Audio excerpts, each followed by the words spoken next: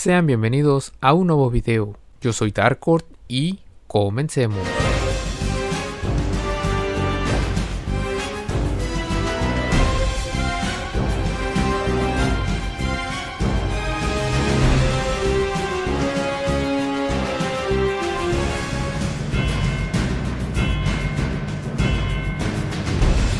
La forma de atrapar Pokémon en PXG es muy diferente a como se hace en otros juegos de Pokémon, ya que normalmente con debilitar al Pokémon basta para capturarlo la mayoría del tiempo. Aquí en PXG se tiene que derrotar por completo para lanzarle la Pokébola, pero para atraparlo tienes que usar muchas, normalmente. Acompáñenme en este video en el cual hablaré todo lo relacionado al atrapar Pokémon. Empecemos por lo principal, sistema de captura. Es un sistema que fue implementado a inicios de PXG, si no es que desde su inicio. La wiki nos dice que aumenta la probabilidad de capturar un Pokémon evitando pérdidas extremas, en base en el precio de las Pokébolas utilizadas. Determina cuánto dinero ya gastaste en total hasta el momento de capturarlo. La probabilidad de captura de un Pokémon aumenta a medida de que tu gasto se acerca o supera el valor del precio del Pokémon en NPC. En pocas palabras, entre más Pokébolas gastes, más probabilidad tendrás de atraparlo. Y también la wiki nos da unas observaciones interesantes, las cuales son Punto número 1. El sistema de captura no garantiza un lucro. Ocasionalmente es probable que gastes más Pokébolas de lo que cuesta ese Pokémon. Realmente esto sucede mucho, por eso la mayoría del tiempo conviene más comprar el Pokémon que atraparlo. Punto número 2. Y este es muy importante. Dice que cualquier cantidad de balls utilizadas para capturar un Pokémon puede ser considerada normal y falta de suerte del jugador. Como el sistema de captura es integrado, es imposible que una única captura contenga un bug. En pocas palabras, si surge un bug en este sistema, afectaría a todos los jugadores simultáneamente y les impediría atrapar cualquier Pokémon. Creo que este punto queda muy claro. Muchas veces puedes pensar que hay algún bug o está pasando algo raro, cuando es completamente normal, ya que como se menciona, si ocurre un bug en este sistema afectaría a todos, así que espero lo tomen en cuenta. Punto número 3. El sistema de captura es aplicado solamente si tu personaje está en el mismo nivel o superior del Pokémon que quieres capturar. Ojo aquí, aunque no tengas el sistema de captura activado, por ser nivel más bajo del Pokémon aún lo puedes atrapar, solo que podría ser más complicado sin este sistema. Y por último, punto número 4. Los Pokémon considerados raros por el equipo de Poké's Games no están incluidos en el sistema de captura. Aquí les estaré dejando la lista con los Pokémon que no tienen sistema de captura por ahora en PXG. Les dejaré el enlace de la wiki en la descripción por si están viendo este video en un futuro y tal vez hayan actualizado la lista. Un dato importante aquí es que un aún cuenta con sistema de captura la primera vez que atrapas cada letra. Posterior a eso ya no contará con este. El sistema de captura nos ayuda la mayoría del tiempo. Aún así, siempre se ha mencionado que las capturas dependen de la suerte de cada jugador, ya que a veces con una simple Pokébola podrías atrapar el Pokémon, pero la probabilidad es baja, o podría ser que tardes demasiado en capturarlo. Aquí es donde entra el sistema de captura a ayudarnos a evitar que lleguemos a cantidades altas de Pokébolas en ciertos Pokémon, así que tengan mucho cuidado si quieren atrapar un Pokémon que no cuente con sistema de captura. Algo importante que casi olvido mencionar es que existen diferentes tipos de dificultades al querer atrapar un Pokémon. Cuando abrimos la interfaz de la Daily Catch podemos ver que nos aparecen las clasificaciones de iniciante, muy fácil, fácil, medio, difícil, muy difícil y extremo. La mayoría de Pokémon que no cuentan con sistema de captura están en la categoría de catch extremo, pero hay sus excepciones, como Chansey, que no cuenta con sistema de captura pero es un catch difícil. Me ha tocado ver algunos casos de gente que le lleva más de 30.000 procs en un Pokémon de Box 5. También en la interfaz de la Daily Catch a un lado podemos ver las Pokébolas que hemos usado en los Pokémon y más detalle como cuántos llevamos en total de cada bal y si colocamos el cursor sobre el Pokémon nos dirá cuánto hemos gastado de dinero en bal en él. Y por último para terminar con este primer tema y que es lo principal son las Pokébolas las cuales existen diferentes tipos y rates, siendo la Pokéball roja común la más baja con un rate de 1, la Great de 2, la Super de 3 y la Ultra con un rate de 4, la cual es la comúnmente más utilizada. La Safari Ball es la única que se puede utilizar dentro de Safari y tiene un rate de 1. La Park Ball es la Pokébola del evento de Poképark.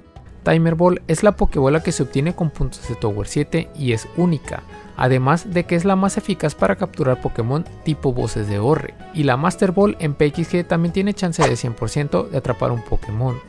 solo que no se puede utilizar en Chinese y en algunos Pokémon especiales. Es importante recalcar que los Pokémon capturados por esta bal se vuelven únicos, es decir, no podrán ser vendidos o intercambiados a otros jugadores. Posteriormente tenemos todas las Pokébolas de Ingeniero, que estas son de dos elementos con excepción de la Heavy, que son para Pokémon pesados y Fast para Pokémon rápido todas teniendo un rey de 5. Les estaré dejando la imagen en pantalla. También está la Old Ball, la cual se utiliza para capturar Pokémon fósil y cuenta con un rey de 4. La Friend Ball para las misiones de académico también tiene un rey de 4. Y tenemos la famosa Premier Ball, que esta Pokébola no cuenta con sistema de captura, es decir, no importa qué Pokémon se la tires, aunque cuente con sistema de captura, será como si no tuviera. Es decir, siempre será como la primera Ball que le lance, por eso los Pokémon en Premier Ball son demasiado caros, ya que no es tan fácil atrapar Pokémon con esta Ball, y dependes de la suerte. Cabe recalcar que si tienes un Pokémon con esta Pokébola, obtiene una hora especial. Y luego tenemos la Nightmare Ball.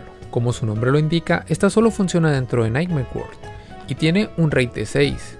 Por último está la Beast Ball, que funciona dentro y fuera de Nightmare, pero solo en Pokémon que no contengan algún sistema, y tiene un rate de 10. Claro que entre mayor rate tiene una Pokébola, más probabilidad de capturar un Pokémon vas a tener, pero aún así puede que demores en atraparlo. Y bueno, pasemos al siguiente tema, la famosa media. Quiero aclarar algo antes de comenzar este tema, y es que la media es un dato creado por jugadores y no es un dato oficial de PXG. Dicho esto, continuemos. ¿Qué es la media? Media es el nombre que los jugadores le dan a la aproximación de Pokébolas necesarias para atrapar un Pokémon, que normalmente o en la mayoría de casos se utiliza la Ultraval de referencia. Por poner un ejemplo, es decir, cierto Pokémon tiene la media de 80 Ultravals. Esto quiere decir que aproximadamente se atrapará con esa cantidad de Pokébolas, pero como dije anteriormente, al no ser un dato oficial de PXG, esto varía y lo puedes atrapar con menos o más Pokébolas dependiendo de tu suerte. ¿Y de dónde nace esto de la media? La media nació a partir del sistema de captura y de la experiencia de diversos jugadores, ya que el sistema nos ayuda a no sobrepasar límites extremos.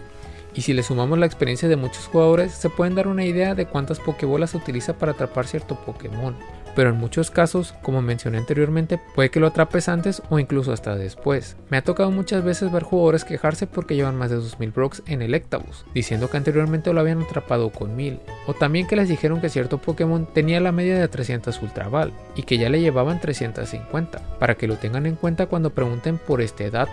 En conclusión, tomando en cuenta el precio del Pokémon en NPC, la dificultad de la captura y la Pokébola que utilicen, se pueden dar una idea de cuánto tardarán atrapando cierto Pokémon también quiero mencionar que existe otro dato famoso llamado límite. Este más comúnmente lo utilizan en los Pokémon de Cyber y los T1H, ya que cuentan con un sistema de captura. El dato oficial no se conoce, pero muchos jugadores en base a su experiencia aseguran que el límite para atrapar un Pokémon de Cyber es de 2500 Pokébolas y los T1H de 1300. Y por último, el tema que me gustaría abordar es los bonus de catch. Existen diversas formas de obtener un bonus de captura para tener aún más probabilidad de atrapar un Pokémon.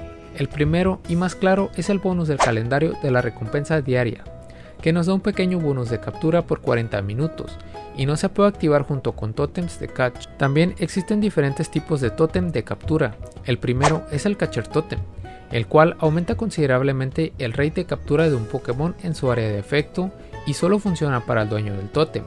Tiene una duración de una hora se obtiene solo en eventos, Catcher Totem del décimo aniversario. Funciona de igual manera que el totem anterior, pero dura solamente 30 minutos. Este fue una recompensa especial en el décimo aniversario de PXG. Scientific Totem tiene un aumento mayor del rate de captura de Pokémon, pero solo dura 15 minutos. Se obtiene en Quest de Catch y cambiándolos por superior Catcher Tokens. Park Totem aumenta considerablemente el rate de captura de los Pokémon, a pesar de su nombre, no es posible usarlo en el evento de Pokepark y se obtiene a través de este. Además de los totem, también la cama de decorador con el toolkit de Bulbasaur al usarlo da 2 horas de bonus de captura. Existen ítems de evento como los Death Elixir que se obtienen en el pase de Halloween y la estrella de chocolate que se obtiene en el pase de Pascua. Ambos ítems aumentan tanto captura, drop y experiencia, ya es una ayuda. También hay un ítem llamado Critical Catch Charm, creado por diseñadores. Existen 6 tiers. Para mejorarlo ocupas comprar el tier siguiente y cumplir con un requisito de capturas. Cada tier te da un porcentaje de probabilidad de activarse. Este al activarse hace una animación y duplica la probabilidad de captura del Pokémon. El trébol es un ítem que se obtiene a través de la Joy Quest. Es único y aumenta permanentemente al personaje la probabilidad de captura. Para todo lo anterior que mencioné, no es informado por el equipo el porcentaje de aumento de captura. Y por último está el guante de Sarkis, que solo funciona en Nightmare. Si tenemos la gema de catch en primario, tendremos un bonus de 10% de catch y 3% si está en secundario. Aún con todos estos bonus, no tenemos asegurado capturar Pokémon que querramos de manera rápida, pero claro está que ayudará bastante. Y bueno, esto ha sido todo por el video de hoy, espero les haya gustado y esta información les sea útil. Si me quieren apoyar les pido que comenten, dejen su like y se suscriban. Si lo quieren hacer directamente me pueden dejar un super gracias o unirse a mi canal. Nos vemos en un próximo video. Adiós.